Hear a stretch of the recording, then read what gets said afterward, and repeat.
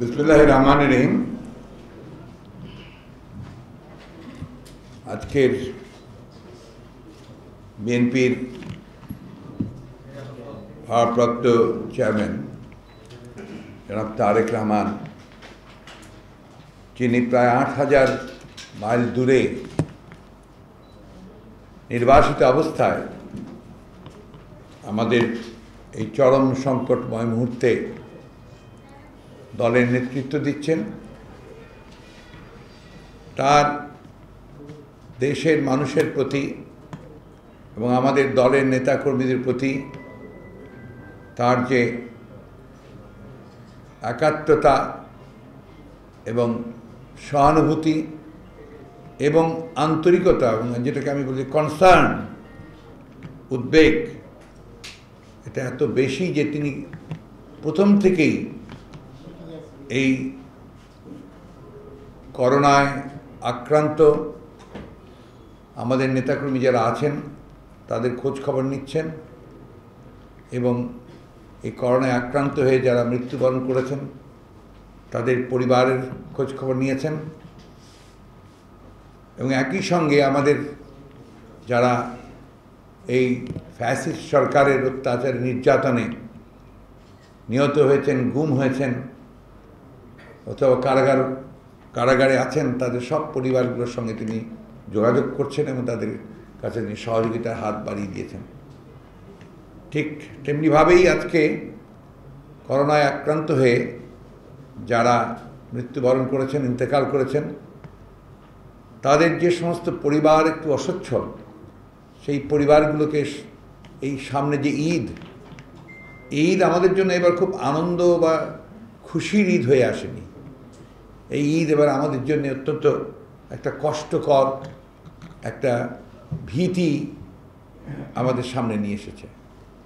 তবুতেই ঈদের দিনই আমরা নতুন করে স্বপ্ন দেখি, নতুন করে শুরু করতে চাই। সেই ঈদের দিনের সামান্যতম হলেও, অল্প কিছু হলেও আমাদের ভাবতত্ত্ব চেয়ারম্যান মহোদয়, তিনি সেটা রিয়েলাইজ করে অনুভব করে তিনি আজকে সেই পরিবারগুলোর জন্য তার উপহার দেওয়ার, ঈদের উপহার দেওয়ার জন্য তিনি ব্যবস্থা নিয়েছেন।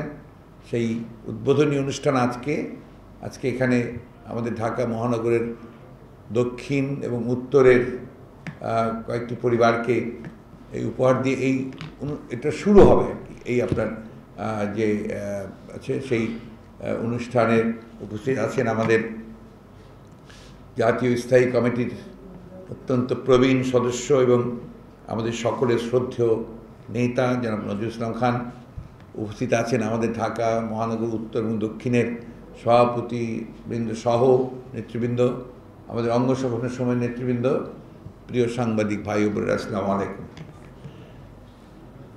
আসলে একটা খুব কঠিন একটা সময় আমরা অতিক্রম করছি। একদিকে সারা বিশ্ব জুড়ে এই কোভিড উনিশ করোনা ভাইরাসের যে সংক্রমণ এবং ভয়াবহ এক মহামারী রূপে ছড়িয়ে পড়েছে গোটা পৃথিবীতেই এবং একইভাবে সেটা বাংলাদেশেও আক্রান্ত হয়েছে অত্যন্ত শক্তভাবেই।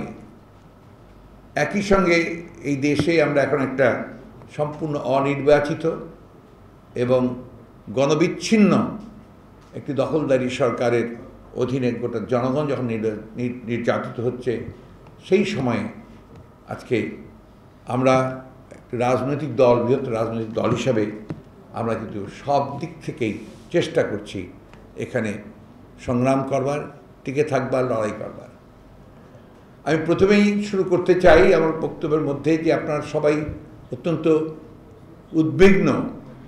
আপনারা সবাই আমাদের দলের চেয়ারপারসন, এই বাংলাদেশের আঠেরো কোটি মানুষের স্বাধীনতা সার্বভৌমত্বের একমাত্র আশা ভরসার স্থল এবং গণতন্ত্রের যিনি দীর্ঘকাল তার সংগ্রামের মধ্য দিয়ে এখানে গণতন্ত্র প্রতিষ্ঠা করেছেন, চেষ্টা করেছেন, গণতন্ত্র ফিরিয়ে এনেছেন, আবার এই গণতন্ত্রের চরম সংকটময় মুহূর্তে আমরা এই দেশের মানুষ তাকেই সুস্থ হিসাবে দেখতে চায় সেই দেশনেত্রী বেগম খালেদা জি আজকে আপনারা সবাই জানেন যে তিনি সাতাশ তারিখ থেকে আমাদের এভারগ্রিন হাসপাতালে তিনি করোনায় আক্রান্ত হয়ে চিকিৎসাধীন রয়েছেন।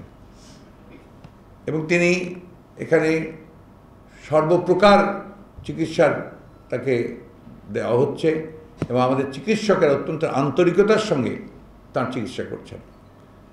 এবং করোনার কোভিড উত্তর যেটাকে যে পোস্ট কোভিড আপনার প্রবলেম জটিলতা থাকে, সেই জটিলতা কিন্তু মাঝে মাঝেই আপনার একটু, আপনার টার্ন নেয় বিভিন্ন দিকে। এবং ওনার যে বয়স ওনার যে বিভিন্ন রোগ আছে, অথবা এর আগে উনি যে প্রায় দুই তিন বছর তিনি কারাগারে ছিলেন এখনও অন্তরীণী আছেন, এই অবস্থার প্রেক্ষিতে তার যে সমস্ত কিছু জটিলতা সৃষ্টি হয় এবং হয়েছেও মাঝে মাঝে।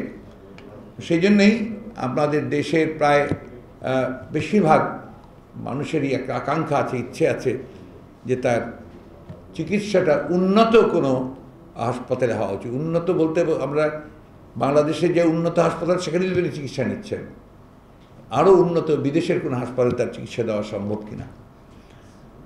আমরা এই বিষয়ে আপনারা জানেন যে গতকালই আপনারা দেখেছেন যে তার পরিবার থেকে আপনার বিদেশে উন্নত চিকিৎসার জন্যে আপনার যে অনুমতি দরকার, সে অনুমতি চাওয়া হয়েছে এবং আমরা আশা করি যে সরকার মানবিক কারণে এই তার বিদেশে চিকিৎসার ব্যবস্থা করবেন এবং এই দেশের আঠেরো কোটি মানুষের সবচেয়ে প্রিয় নেতা তার সুচিকিৎসার ব্যবস্থা করবেন। এটা তো অবশ্যই আমাদের, আপনার বাংলাদেশের মানুষের এটা অধিকার। যে তাদের নেতাকে তারা সুস্থ দেখতে চান। আজকে বিভিন্ন কারণে, বিভিন্নভাবে আজকে আমাদের প্রায় পঁয়ত্রিশ লক্ষ গণতন্ত্রের কর্মীকে আজকে আপনার মামলা দিয়ে তাদেরকে আসামি করা হয়েছে। আমাদের পাঁচশোর বেশি অধিক নেতাকর্মী গুম হয়ে গেছেন। সহস্রাধিক নেতাকর্মী আমাদের খুন হয়েছেন। এই যে নির্যাতন চলছে বিগত এক যুগ ধরে, এই নির্যাতনের মধ্যেও কিন্তু আমরা আমাদের এই নেত্রীর নেতৃত্বে, আমাদের বর্তমান নেতার নেতৃত্বে কিন্তু আমরা সংগ্রাম করছি, টিকে আছি।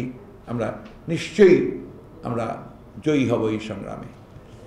এই অনুষ্ঠানে আজকে যে কয়েকজনকে আমাদের ভারপ্রাপ্ত চেয়ারম্যান মহোদয়ের উপহার তুলে দেওয়া হবে, তা সারা দেশে যারা আক্রান্ত হয়ে ইন্তেকাল করেছেন, তাদের সকলকেই প্রায় দেওয়ার চেষ্টা করা হবে এবং এখন পর্যন্ত এটা প্রিন্স সাহেব ইতিমধ্যে আপনাদের বললেন যে চারশো পঁচিশ জন আমাদের হিসাব মতে আপনারা মৃত্যুবরণ করেছেন। সকলের হয়তো প্রয়োজন নেই।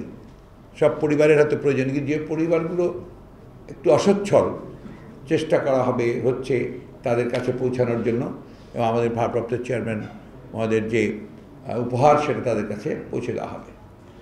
আমরা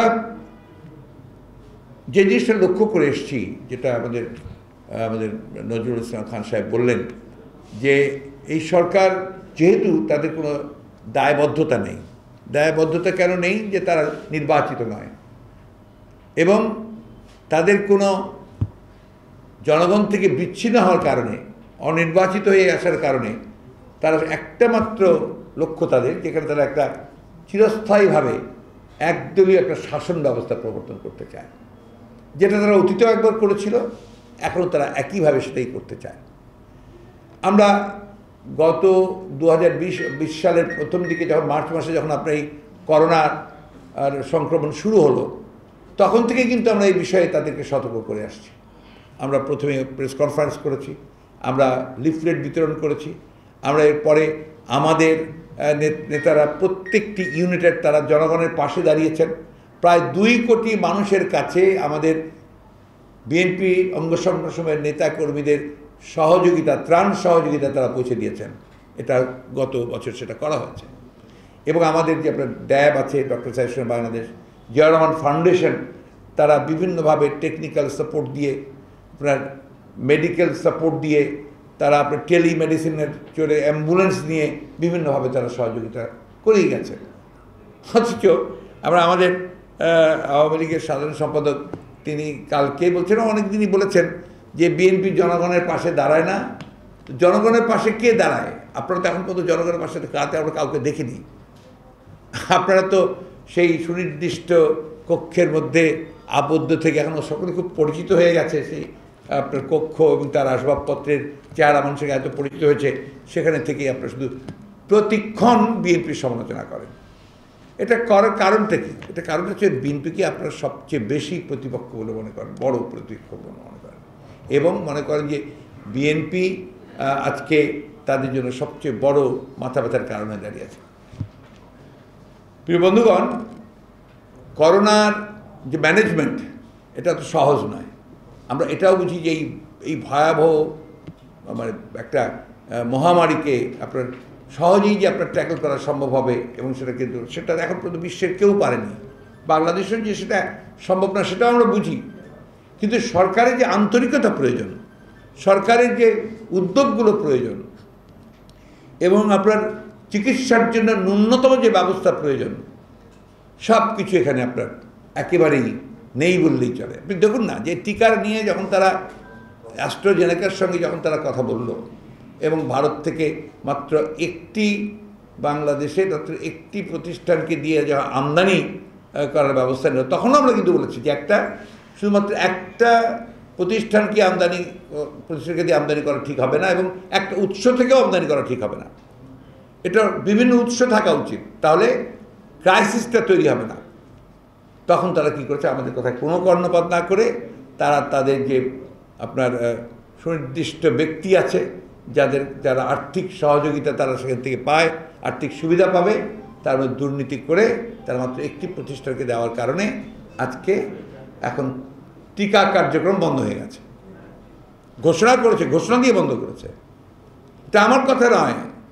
আপনার বর্তমান সরকারের পররাষ্ট্রমন্ত্রী, তিনি খুব পরিষ্কার করে ওপেনলি প্রেসের সামনে বলেছেন যে একটিমাত্র লোকের জন্য এই এই ঘটনাটা ঘটেছে, দুর্ঘটনা ঘটেছে। এবার সেটা তাদের নিজস্ব লোক।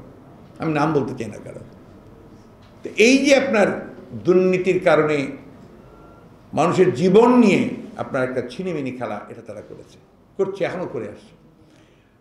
তথ্যমন্ত্রী তিনি কালকেই বোধহয় বলেছেন যে আপনার বিএনপি, দেশনেত্রী বেগম খালেদা জিয়ার এই অসুস্থতা নিয়ে রাজনীতি করছে। আমরা কোথায় রাজনীতি করলাম? আমরা তো একটাও রাজনীতির কথা বলিনি এখানে। আমরা ওনার অসুস্থতা নিয়ে তো একটাও রাজনীতির কথা বলিনি। আমরা শুধু এটুকু বলতে চাই যে প্রত্যেকটি মানুষের এখানে স্বাস্থ্য সেবা পাওয়ার তার সাংবিধানিক অধিকার আছে। প্রত্যেকটা মানুষের বেঁচে থাকার সাংবিধানিক অধিকার আছে। প্রণনা দিয়ে দিয়েছেন আপনারা। আমরা গতবারই বলেছিলাম যে এই প্রণোদনাটা শুধু শুভম করে থাকি। অর্থাৎ ব্যাংক থেকেই তারা সমস্ত প্রণোদনা দিয়ে মাত্র ফাইভ পার্সেন্ট তারা আপনার বিভিন্নভাবে গভর্নমেন্টের তরফ থেকে, রাজস্ব থেকে তারা দেওয়ার ব্যবস্থা করেছিল, যেটাও জনগণের কাছে পৌঁছায়নি। আজকে কি হয়েছে? আজকে বলা হচ্ছে যে আপনার প্রধানমন্ত্রী সাড়ে দশ কোটি টাকা দিলেন প্রথম দিকে, প্রধানমন্ত্রী দিলেন। আর আপনার এরপরে বোধহয় আরও উনিশ কোটি না কত টাকা আপনার এই যারা আপনার দুস্থ দুস্থতার মধ্যে দেওয়ার জন্য বলেছেন। অথচ এই দেশে পাঁচ কোটি যারা শ্রমিক, তাদের মধ্যে এইট্টি ফাইভ পার্সেন্ট হচ্ছে আপনার ইনফর্মাল সেক্টরের যাদের কোনো হিসাব সরকারের কাছে নেই। এবং এই জন্য আমরা গতবার আমাদের যে প্রস্তাব দিয়েছিলাম, সেই প্রস্তাবে আমরা বলেছিলাম যে এই সমস্ত ইনফর্মাল সেক্টরের প্রত্যেককে চিহ্নিত করে তাদেরকে মিনিমাম তিন মাসের জন্য এককালীন পনেরো হাজার টাকা করে অনুদান দেওয়ার জন্য। এটা যদি দেওয়া হতো তারা যে ক্রাইসিসটা তৈরি হয়েছে আপনার পরের দিকে, এই সমস্ত দিন আনে দিন খায় মানুষের জন্য সেই ক্রাইসিসটা তৈরি হতো না। আজকেও দেখুন, পরিবহন সেক্টর কী অবস্থা?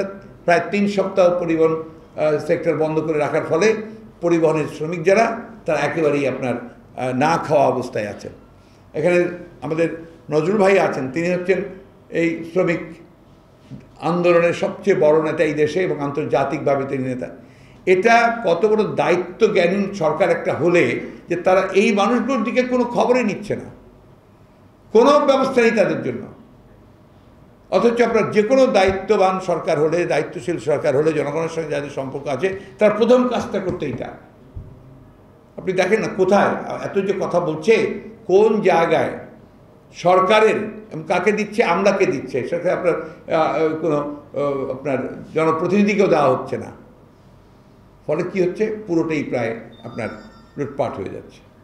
আমরা এই কথাগুলো বহুবার বলেছি, বারবার একই কথা আমরা বলতে চাইও না। তারা এমনভাবে কথা বলেন যে কথা মনে হচ্ছে তারা যখন আপনি যে টিকা যখন আপনি আনলেন, ওই তিন কোটি টিকার কথার ঘোষণা করলেন, এসেছে তো আপনার মানে হিসাব দেখলাম সত্তর আর ষাট, কত হয়। হ্যাঁ। সব মিলিয়ে আর কি, এটা প্রায় এক কোটি দুই লাখের মতো এসছে। এক কোটি দুই লাখ স্টুডেন্টের যে টিকা এসছে, সেই টিকা অথচ তিন কোটি টাকার অ্যাডভান্স পেমেন্ট করা হয়ে গেছে অ্যাস্ট্রোজেনিকাকে ভারতে।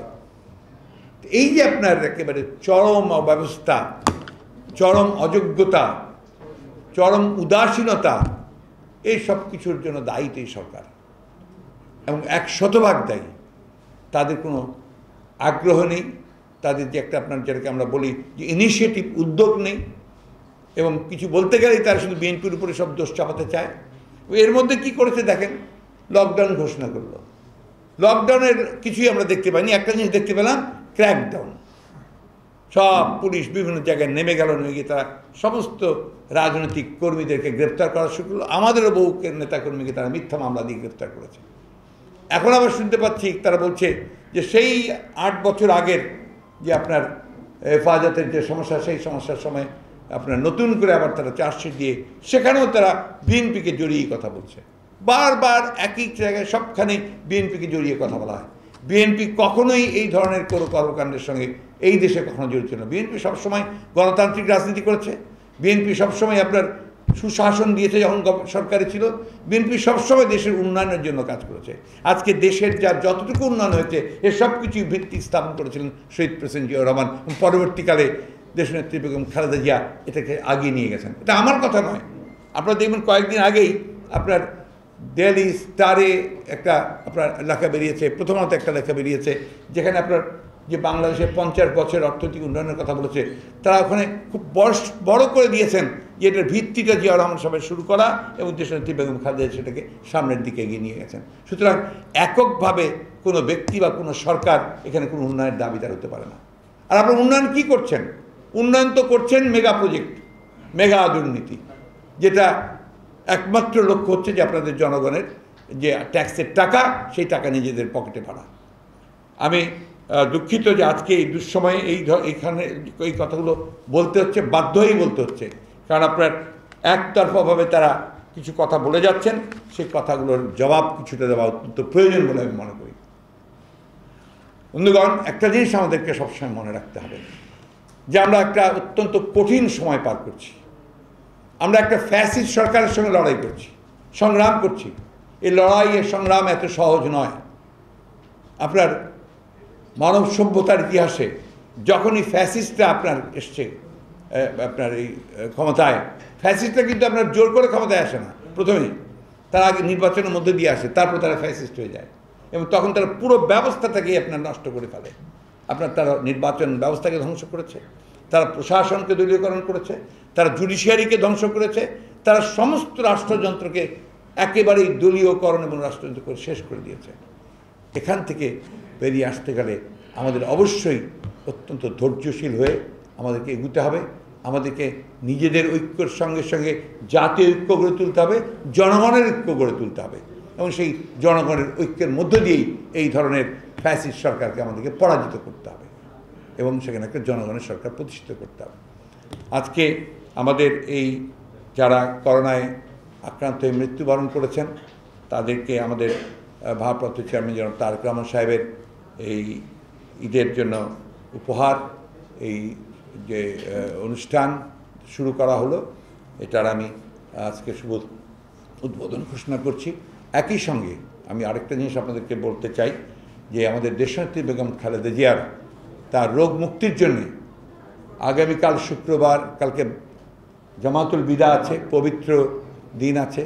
আমরা জুমার নামাজে পড়া জামাতুল বিদার পরে সারা দেশে আমরা সমস্ত মসজিদ আমাদের সমস্ত আপনার প্রার্থনালয় যেগুলো আছে অন্যান্য ধর্মের, সেগুলো আমাদের সমস্ত ইউনিটগুলো আপনার তার জন্যে, তার রোগ মুক্তির জন্যে দোয়া চাইবেন আল্লাহর কাছে।